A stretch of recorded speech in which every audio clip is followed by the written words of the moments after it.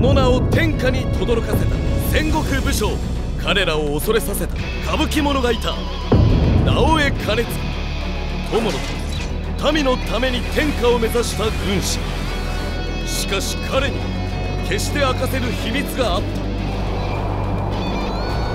毘沙門天の化身と恐れられた軍神上杉謙信の落としだめ我は義の子。その謎をめぐり天下が動く。戦乱の世でただ我に美しくあらんと生き抜いた義の男。爆薬の友と語る若かりし日の二人の物語。武家竜となり火をもって湧いていた。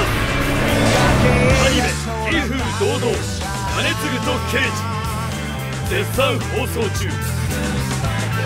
男なら時代にかぶけ義に生きろ。